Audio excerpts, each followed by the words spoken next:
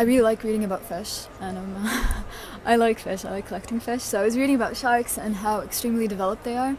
They're one of the oldest creatures on Earth, and they don't get cancer, and they're one of they live the longest in the sea, or one of the fish that live the longest in the sea, and their immune system is very developed, and the antibodies are very small, so they can neutralize multiple viruses and um, multiple kinds of cancers, and sharks don't really get sick.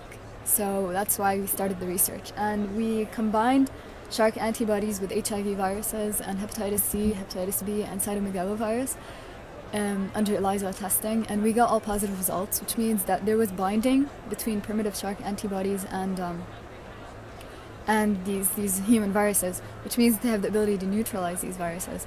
And um, you know, I was thinking, you know, we could research that and use that for human purposes and stuff.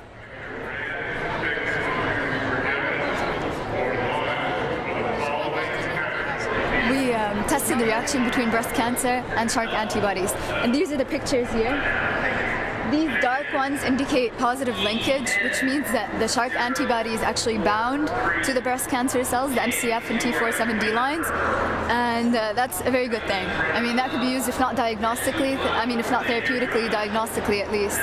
We did this all in vitro under machines and tests like that, and we wanted to find a way in which we can clone these cells, these shark antibody producing splenocytes, so that we don't have to like keep killing sharks to attain a sufficient supply you know, you can just get it from one shark. So basically we started with the cloning by fusing the shark splenocyte with mouse, with mouse myeloma, SP2, which is mutated spleen. And what that gives us is a hybridoma, a 2N cell that keeps dividing like cancer, but producing antibodies at the same time. So basically, we immortalize these splenocytes keep giving us a sufficient supply of antibodies.